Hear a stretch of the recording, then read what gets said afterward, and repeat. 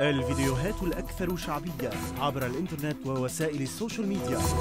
N2K عبر قناة الحرة.